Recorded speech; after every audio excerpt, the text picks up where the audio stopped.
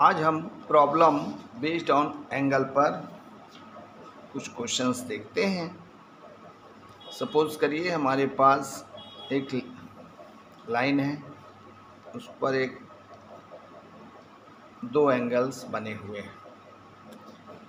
एक एंगल की वैल्यू हमें दी है x प्लस टेन और दूसरे एंगल की वैल्यू दी है x माइनस टेन अब इसमें हमें x की वैल्यू फाइंड करना है। तो हम देख रहे हैं कि ये जो लाइन है ए ओ बी ये स्ट्रेट लाइन है। तो यहाँ पर हम देखेंगे, लिखेंगे A O B is a straight line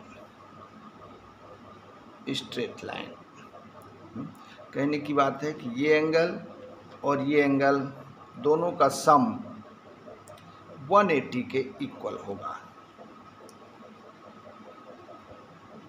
क्योंकि ये लीनियर पेयर ऑफ़ एंगल है।